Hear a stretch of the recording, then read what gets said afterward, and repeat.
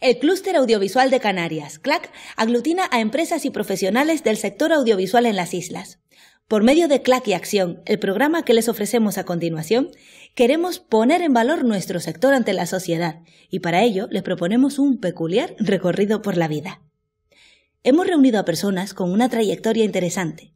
Con ellas charlaremos sobre temas esenciales como el amor, el humor, la salud, la infancia, el futuro, y de cómo el cine, la televisión o Internet están presentes en nuestro día a día y forman parte inseparable de nuestra cultura. Kiko Barroso charlará con ellos desde la inocencia recobrada de un columpio. También conoceremos a talentos del cine y el audiovisual canario que desarrollan su actividad dentro y fuera de las islas y pulsaremos la opinión de la calle. Bueno, ¿están listos? ¿Sí? Pues clac y acción.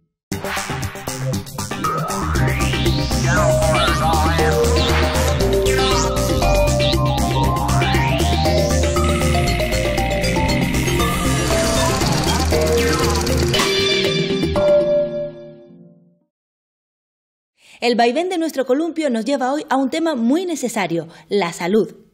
La salud es la mayor preocupación de las personas, es lo que más deseamos para nosotros mismos y para nuestros seres queridos. Buena alimentación, control del estrés, contacto con la naturaleza, vida dinámica y disfrute del ocio y la cultura son claves importantes para mantenerse sano. En el audiovisual, la salud, la enfermedad y la profesión sanitaria han sido siempre temas recurrentes. Es además una herramienta pedagógica muy efectiva para difundir información necesaria y hábitos de vida saludable. El audiovisual, como parte importante de la cultura, es también una medicina para el espíritu. Cada vez más, la medicina entiende el ser humano como un todo que no puede compartimentarse. Todos los órganos del cuerpo están conectados entre sí, con la mente y con las emociones. Nuestra invitada de hoy lo tiene muy claro. Belén Alonso es médico internista del Hospital Dr. Negrín y profesora de la Facultad de Medicina de la Universidad de Las Palmas. Ella vive con pasión la medicina y utiliza un método muy efectivo con sus pacientes y estudiantes. Les receta películas. Y la medicina en el cine son desde luego dos, viejos conocidos, dos, grandes amigos. Dos grandes amigos que lo han sido pues eh, desde la historia del cine, muy desde los eh, inicios ya había películas sobre la temática de, de, medicina, de salud, de enfermedad y esta relación pues se ha mantenido en el tiempo y seguirá porque hemos visto que en los últimos años la explosión de películas que trataban sobre, sobre esta temática pues han ido en aumento muy significativo. Claro, porque lo cierto es que tanto la medicina como el cine han evolucionado infinitamente. Han evolucionado infinitamente y prácticamente a la par. Hay que recordar pues, eh, que las primeras eh, películas con cine mudo pues, hablaban de temas tan importantes como la alimentación, que eran temas eh, candentes en la sociedad del momento, y después pues, con la Primera y la Segunda Guerra Mundial pues, hay multitud de películas en las que aparecían los médicos de guerra, las enfermeras atendiendo pues, a, a los soldados heridos y a medida que ha ido avanzando la medicina, que han ido desarrollándose las distintas especialidades como la cardiología, la cirugía cardíaca o la neurología, pues han ido apareciendo películas tan importantes o conocidas para todos pues como Despertares. Mm, o la medicina interna de la que tú eres una crack o la medicina interna, que bueno, pues es eh, la clave de, de, toda la medicina y de la que han salido todas las especialidades y sin duda pues también tenemos ejemplos en el cine y en el cine muy reciente, pues como un reciente medicina interna en El Buen Doctor, una película de tan solo hace tres años, por ejemplo. ¿Y ha sido justo el, el cine con la medicina? Eh, ¿Ha estado bien documentada? Bueno, pues como la vida misma, hay películas eh, que se han acercado, que se han aproximado mucho mejor a lo que es eh, la enfermedad, el enfermo eh, y su entorno, y ha habido otras pues, que se han alejado un poquito más de esta realidad como todo en la vida. El cine cura, pero hablando de medicina, ¿también enseña? ¿Tiene un componente pedagógico? Tiene un componente pedagógico muy importante que se está utilizando pues en los colegios, en la enseñanza secundaria y también en la universidad, no solo en las ciencias de la salud, sino también en otras eh, enseñanzas como puede ser eh, pues eh, la abogacía. Y no cabe duda que no solo tiene esta finalidad didáctica o docente, sino que también el cine pues nos puede curar o nos puede aliviar el alma y nos puede ayudar a volvernos a ser mejores personas. Es lo que se conoce la cineterapia, que es una herramienta que están utilizando muchísimo en los últimos años los, los psicólogos. ¿Y puede también el cine ayudar a entender la enfermedad, lo que nos pasa? Claro que sí, no cabe duda que pues, eh, cada proyecto cinematográfico es en sí mismo un escenario de una patología, de una enfermedad en la que tenemos un personaje que es el paciente, el entorno, que tan importante pues, resulta para los profesionales eh, sanitarios, lo que son pues, familiares directos, cuidadores, eh, personas que están próximas al enfermo, que a mí me gusta más hablar de la persona enferma, y todo ello pues, se nos permite ponernos en los distintos eh, roles, eh, viendo pues eh, una película y además sintiendo, generando emociones y sin duda pues el cine es un, es un idioma que entendemos todos, es un arte que, que nos divierte, que nos entretiene, que nos hace sentir, que nos alegra, que, que lloramos y sin duda pues esto para la medicina pues es una herramienta muy muy potente. Tú eres muy conocida en todos los círculos médicos, los círculos clínicos porque impartes con conferencias en muchos congresos para, para colegas tuyos, para, para médicos, utilizando como eje principal películas para hablar de determinadas patologías. Exacto, y también eh, pues los pacientes eh, lo saben y pues no solo receto eh, medicinas en forma de fármacos o píldoras, receto pelis eh, y además eh, pues incluso a familiares o a personas eh, que les toca por su situación pues una enfermedad como puede ser pues el Alzheimer o una enfermedad maligna como el cáncer pues les recomiendo que vean una serie de, películas o de cortos porque muchas veces interpretamos película con largometraje pero muchas veces son cortos o incluso spots publicitarios que son capaces pues para nosotros los sanitarios pues de transmitir ese mensaje mensaje que a lo mejor por falta de tiempo en la consulta, eh, por muchos factores, pues no lo podemos llevar a cabo eh, dentro de la consulta y sí, sí que receto Eso está bien, porque, a veces los médicos, no digo que sea tu caso, pero a veces los médicos hablan y solo se entienden entre ustedes, entre médicos. Eh, el CID ha sido como un poco más generoso en cuanto a la dialéctica para que todos entendamos lo que pasa.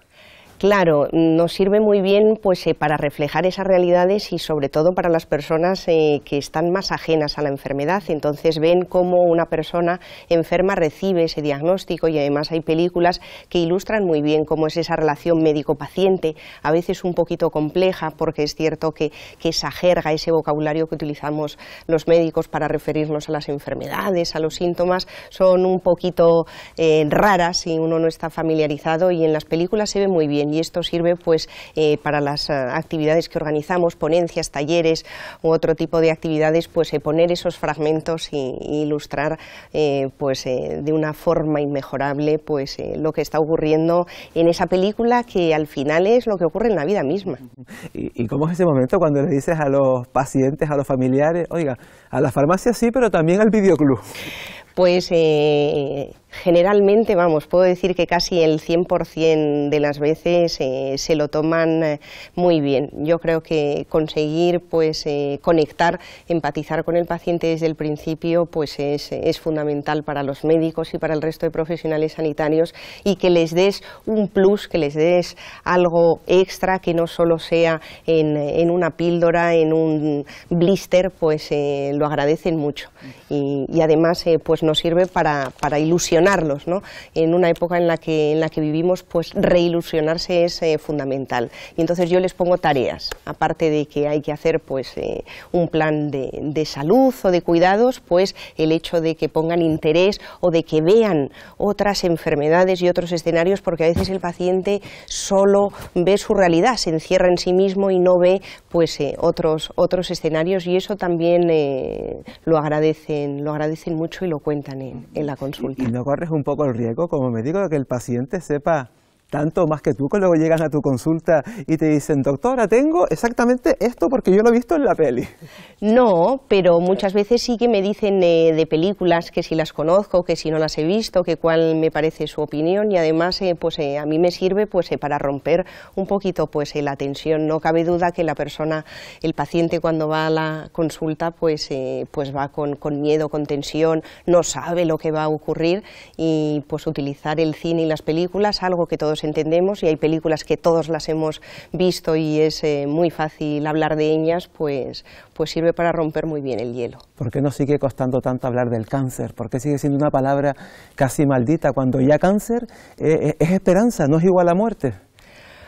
Pues eh, sí, eh, a 2014 pues es una de las palabras tabú en medicina y pues esa asociación con, con una enfermedad eh, de mal pronóstico eh, que lleva inherente pues eh, características nefastas para la persona pues sigue haciendo mucha mella a pesar del gran desarrollo que ha habido en la medicina en este sentido. Y el cine tampoco ha sido ajeno a esto. Tenemos películas muy muy recientes como 50-50 en la que un chico joven y hemos hablado de ella en la radio pues tiene un tumor de espalda y vemos cómo se enfrenta a todos los tratamientos que le ofrecen quimioterapia, radioterapia o la propia cirugía y cómo pues eh, no todo tiene que, acabar eh, mal. Hoy eh, el cáncer si lo detectamos a tiempo y por ejemplo pues el cáncer de mama, que hay muchas películas en el cine que retratan esta enfermedad, pues si se detecta a tiempo la curación es del 90%, por tanto pues no se entiende todavía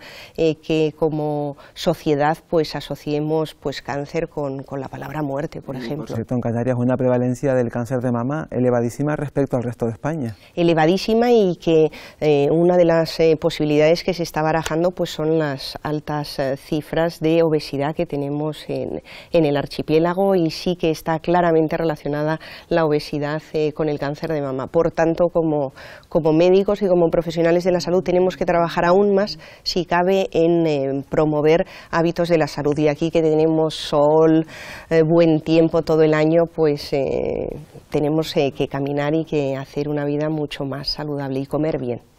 Estos meses atrás ha hablado mucho, ya sabes, del ébola, esa epidemia terrible que está azotando a África, también ha sido tratada por, por el cine, no exactamente con el ébola, pero sí con otras patologías muy similares. Sí, con otros eh, virus muy similares y ya pues incluso entrando en el género de la ciencia ficción y películas de hace muchísimos años pues de virus mortales que incluso acababan pues eh, con todo el planeta Tierra. Pero hay ejemplos eh, muy recientes que ilustran pues incluso la forma de transmisión del virus del ébola y cómo pues se podría actuar a nivel a nivel nacional a nivel internacional eh, pues con el Organismo Mundial de la Salud o con otros organismos encargados de eh, gestionar pues eh, estas epidemias, estos brotes. El cine como salud, el cine como pedagogía respecto a la medicina, tus colegas médicos, ¿cómo responden cuando a los congresos les llevas estas ponencias? Pues eh, resulta muy atractivo como tema porque es un tema bastante novedoso pues en el mundo de la medicina en el que pues a veces nos perdemos en estudios científicos en cifras en análisis estadísticos pues en irnos a una vertiente más humanística de, la profesión y acercarnos al cine. Al principio esto de medicina y cine no lo entienden mucho pero después de la actividad pues eh, como ocurre pues en otros foros pues se tiene una gran aceptación gusta mucho y pues cada uno también propone sus películas y no cabe duda que a todos nos han acompañado pues a lo largo de la vida títulos que nos han ayudado pues a afrontar situaciones, a encontrarnos mejor o pues a pasar un, un buen rato. ¿Qué te parece el Doctor House? es internista como tú, pero tú, tienes mejor carácter, eso también es verdad. Es internista, es experto en enfermedades infecciosas y en enfermedades del riñón, es una serie de culto, gusta muchísimo a todo el mundo eh, como personaje, pues eh, irreverente, maleducado, eh, bueno, impensable encontrar un médico así en ninguna parte del planeta Tierra, pero pues está muy bien hecha, eh, los casos eh, son extraordinarios pero son reales, están basados en hechos reales y se ve que tienen un equipo de asesoramiento científico realmente bueno porque no, no hay eh, errores en cuanto a los capítulos pues reflejan muy bien lo que, lo que son las enfermedades. Eso sí, son muy raras y muy, muy extraordinarias. Lo que pasa es que luego mucha gente quiere irse a curar con el doctor House porque hay un capítulo te cura. Las cosas en la realidad son un poquito más lentas, ¿no? Sí, acaba en un quirófano o acaba él mismo pues haciendo cualquier técnica. Eh, bueno, eh, también nos sirve mucho el doctor House para, para distendernos en lo que es la consulta. Eh, tú además también tienes otro compromiso importante y es con el saber, porque eres profesora asociada a un departamento en el que enseñas medicina desde tu experiencia en Mozambique. ¿Cómo es esa experiencia de enseñar a futuros médicos? Bueno, pues eh, uno se da cuenta cuando empieza a recorrer el mundo que, al final todos somos iguales y que todos tenemos los mismos intereses y los mismos anhelos. En Mozambique, pues desafortunadamente tienen menos eh, posibilidades eh, socioeconómicas que nosotros. Estamos allí desde la Universidad de Las Palmas de Gran Canaria con un proyecto de cooperación internacional y es un proyecto docente. Entendemos que la mejor ayuda humanitaria es ayudarles pues a crecer y a poder poder ser independientes, de manera que ahora estamos formando a las primeras eh, generaciones eh, médicas eh, de una zona muy importante del país que está en pleno desarrollo económico porque tienen muchas riquezas en su entorno, como son las minas de carbón, y lo que pretendemos es que estas primeras formaciones, pues a su vez se conviertan en docentes de, de las siguientes generaciones. Y también con ellos hablamos de cine en su caso, ponemos eh, fragmentos, ponemos eh, trailers en portugués, que es el idioma oficial de ellos. Aunque entienden perfectamente el castellano, pero por deferencia les llevo trocitos en, portugués. Eh, ¿Y flipan un poco cuando, cuando llevas ese material didáctico, trozos de película? Ellos flipan y se emocionan con todo. La verdad es que tienen una ilusión en su cara y tienen unas ganas de, saber y de crecer que, que son admirables. ¿Frustra cuando no se puede hacer nada para evitar la muerte, cuando la medicina solo puede, y digo solo como si fuera poco, ayudar a bien morir? Claro, eh, de hecho, pues eh, uno cuando sale de la facultad parece que le han puesto el casco eh, y que pone nasío para curar. y después, pues uno se da cuenta en el día a día que no siempre podemos curar. Y cuando no podemos curar, pues ya lo decían los médicos clásicos, pues tenemos que aliviar y dentro de esta fase de la enfermedad y es muy difícil como médicos porque eh, nos gusta hacer, hacer, intentar eh, pues eh, mejorar el estado de salud de las personas, pero cuando no se puede, pues sin duda también la interrelación con, con, los familiares y el buscar lo mejor para el paciente pues es también una labor muy importante, muy bonita y que esto pues se aprende en el día a día. Sí, porque esa es una laguna también que todavía está por experimentar la empatía de los médicos, la capacidad de comunicar con el, con el paciente, que a veces no digo que no quieran, sino que no saben. Exacto, y de hecho, pues en los nuevos planes de formación de, eh, de los estudios de medicina, pues eh, y era una demanda que, que habíamos hecho pues eh, muchos compañeros pues es el fomentar eh, las habilidades comunicativas. Sin duda, eh, un médico tiene que estudiar mucho, tiene que tener muchos conocimientos y esto se lo decían los estudiantes en Mozambique y lo decimos aquí también en la universidad, pues primero hay que ser un buen comunicador. Un médico puede saber mucho, puede contar o disponer de los últimos tratamientos, pero si no sabe comunicar, pues esa relación médico-paciente va a fallar, esa relación médico-paciente es mágica, eh, porque si no yo diría que los médicos no existiríamos, tendríamos máquinas dispensadoras, marcaríamos tos, flemas, fiebre y nos saldría... Tiempo al tiempo, ¿eh? Alguna peli lo contará, espero que no pase en realidad. Eh, bueno, que sean drones ayudadores. Déjame que recuperemos lo de la formación, porque por ejemplo sabemos que la Universidad de Las Palmas de Gran Canaria es una optativa, esa asignatura de empatía. Casi tendría que ser una de las obligatorias de las troncales. Bueno, hay muchas asignaturas dentro de lo que es el plan formativo. Para mí lo positivo es que ya estén dentro del, plan formativo y el resto se andará. Lo primero es arrancar, es dar el primer paso. De hecho, pues hay otras asignaturas como puede ser el humanismo, como puede ser pues eh, la medicina internacional. Hay muchas asignaturas, hay que formarse muy bien en muchas de ellas. Son seis años de estudios eh, universitarios y, aunque sean optativas, eh, tienen muchísima aceptación en, el alumnado. Y también estamos planteándonos, pues, introducir el cine, como no, pues, eh, en la facultad. Sí, de momento como optativa, ojalá que luego sea también como... como Obligatoria. por la capacidad pedagógica. Doctor Alonso, qué bien suena eso, ¿no? Sí, ¿por qué no? Pero como doctor Alonso es la primera vez que estás en un columpio. Bueno, en un columpio como este, pero he estado en muchos columpios. Si no, pregúntaselo a mi madre. Pero ya de mayor, ya de mayor has estado en columpio. No, de mayor no. Por eso te digo que como doctor Alonso es tu primer columpio. Ah, sí, como doctor Alonso sí. Oye, pues está bien que tu primer columpio sea en nuestro columpio porque la primera vez nunca se olvida. No, no. Desde luego yo no lo voy a olvidar. ¿Nos remamos? Vale. Venga, que yo te veo como con muchas ganas así como lanzada de... Yo me aparto y tú te lanzas. Venga. ¿A la de tres? A ver si nos chocamos. Oye, yo he sido más valiente. ¡Oh! Bueno, hay muchas películas sobre el tema de, la salud. Estoy pensando ahora, por ejemplo, en una película canadiense, ¿no? Que, que él elige, elige cómo, cómo quiere morir, ¿no? Eso se trataría un poco más que de la salud, un poco más del final. También estoy pensando en, en el documental de Las alas de la vida de Tony Canet, que narra que narra el proceso que le va a llevar a la muerte a un médico, Carlos Cristos, que pensando eso le cuentas a alguien que es una película que habla de su proceso hasta la muerte y vamos, se mete debajo de la cama y no quiere salir. Sin embargo, es una de las películas más optimistas que he visto. Eh, a decirte que los seres humanos tenemos que entender que, que nuestro, bueno, la esencia es, es irnos, que no estás aquí para siempre y que una vez eh, reflexionado sobre esto, mm, bueno, pues um, cada uno tiene su vida, pero que sepamos todos muy claramente que aquí estás un rato. Entonces, si estás un rato, pues no te vayas con la tumba con mil millones que signifique la pobreza de los demás. No sé, ahora mismo me viene a la mente Camino, que de una chica, una niña con un, con, creo con una leucemia, un tumor, bastante fuerte, una española, y no sé, me, me llegó bastante.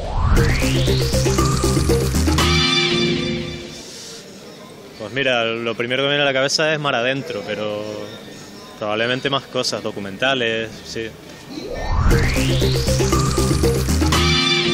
A los 14 años, el inglés afincado en Gran Canaria, Richard Leacock, filma Canary Bananas, 1935, donde en ocho minutos cuenta el proceso de recolección, empaquetado y transporte de los plátanos de la finca de su familia establecida en Galdar.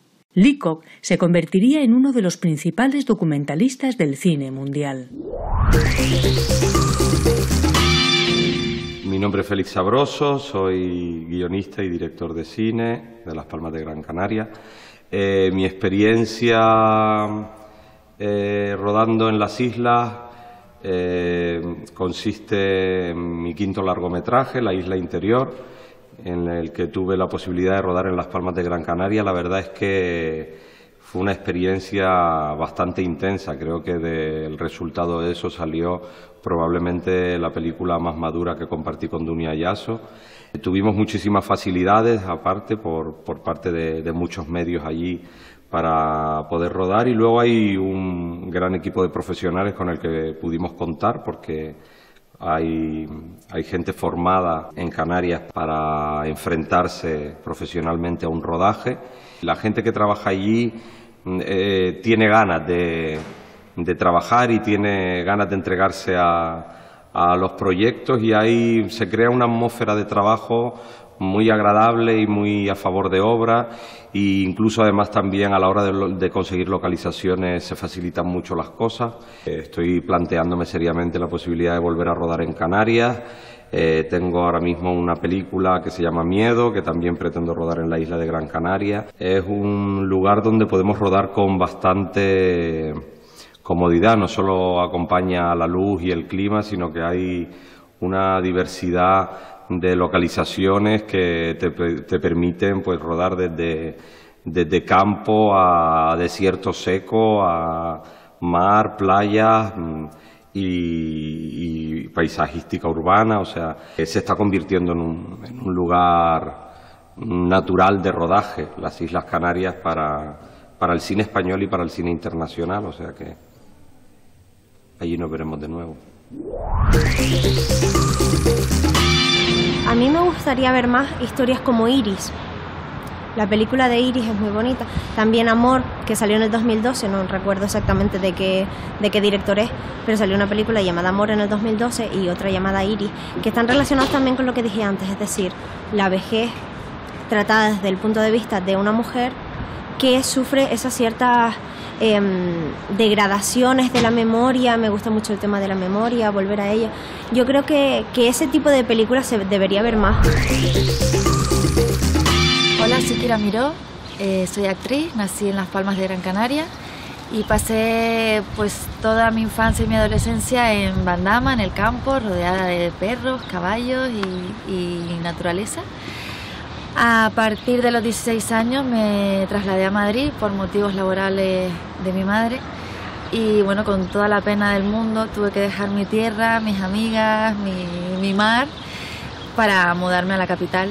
Eh, terminé tercero de BUP aquí, ICO, y luego empecé en la escuela de Cristina Rota.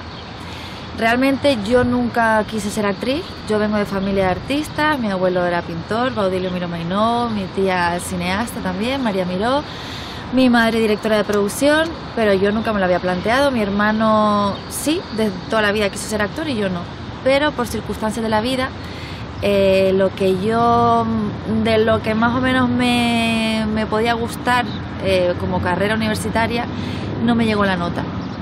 Y bueno, decidí probar en la interpretación siguiendo los pasos de mi hermano en la escuela de Cristina Rota y una vez allí descubrí que era mi pasión, que me encantaba, que disfrutaba muchísimo interpretando y metiéndome en el papel de, cada personaje y descubrí que ese era mi sueño y que quería dedicarme a ello y luchar por ello cada día y duro. Hice muchísimos castings, eh, muchísimas puertas que se me cerraron, muchísimos nos pero no decaí, seguí luchando y un buen día, eh, después de tantos no, vino un sí y me salió mi primer proyecto en televisión, que fue Desesperado Club Social.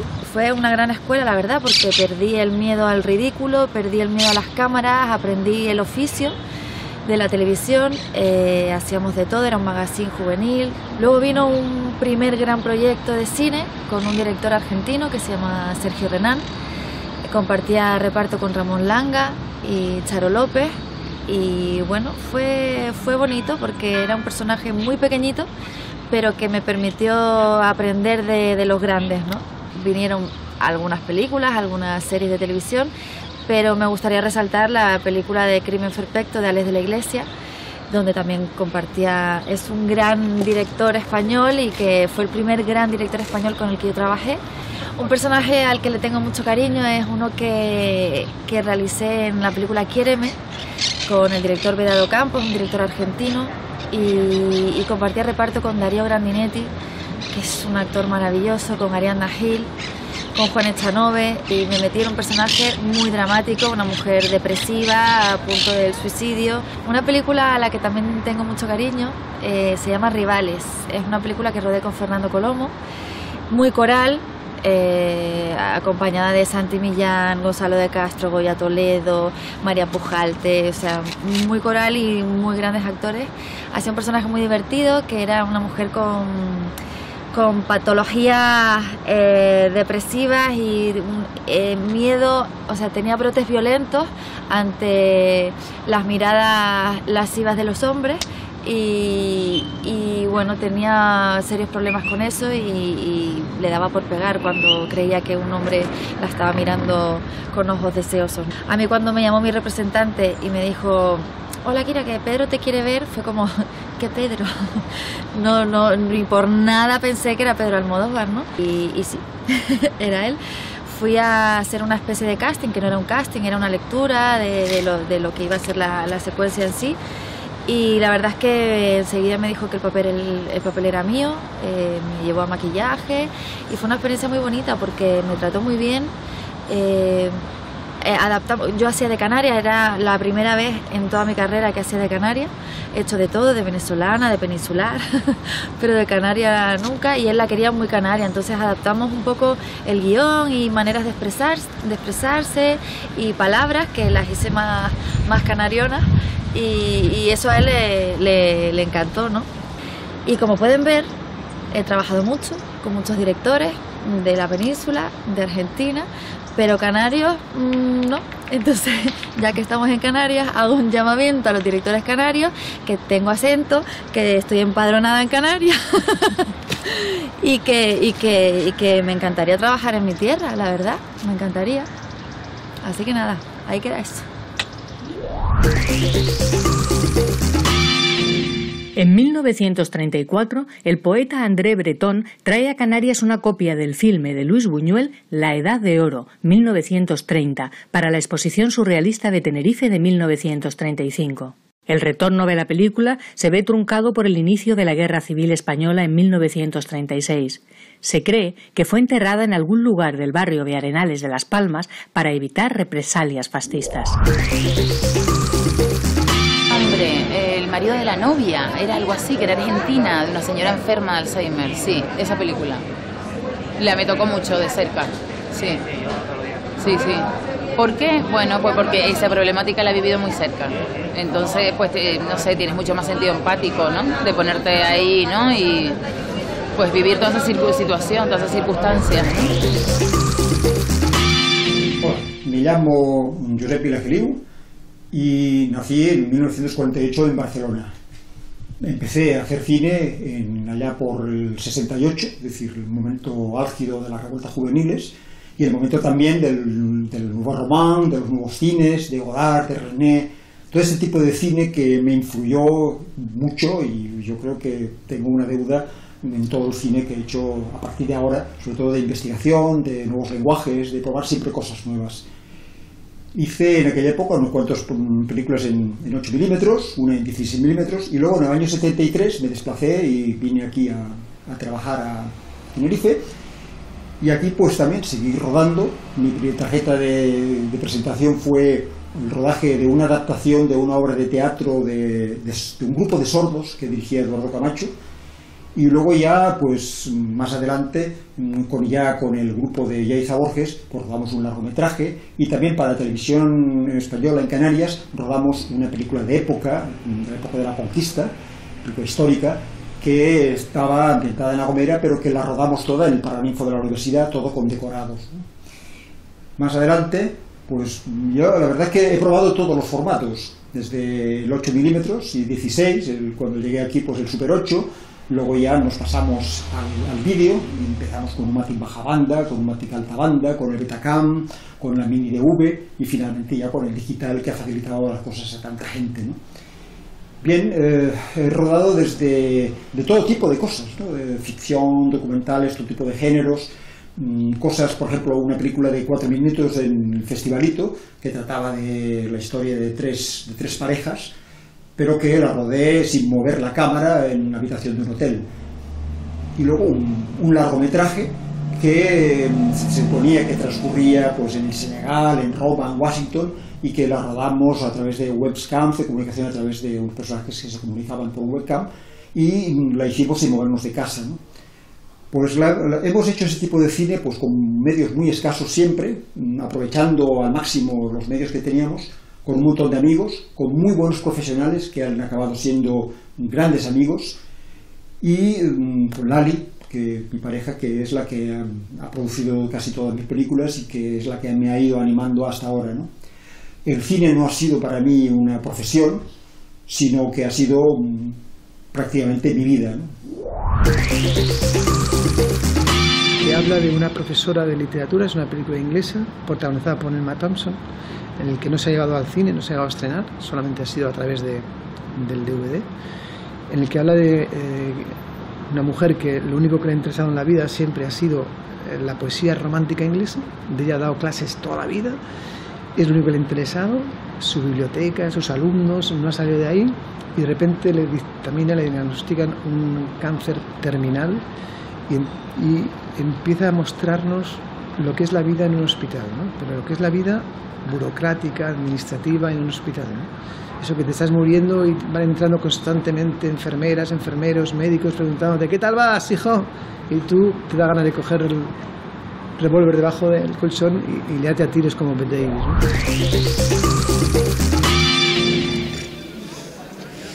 eh, yo me castigo mucho. Yo no tomo ninguna medida, creo, para, en exceso para cuidarme estoy perfectamente de salud, estoy a lo que se diría a tope. Visto lo visto, no puedo dejar de recomendarles que disfruten con salud de una buena película. Y recuerden, la vida transcurre en imágenes y sonidos.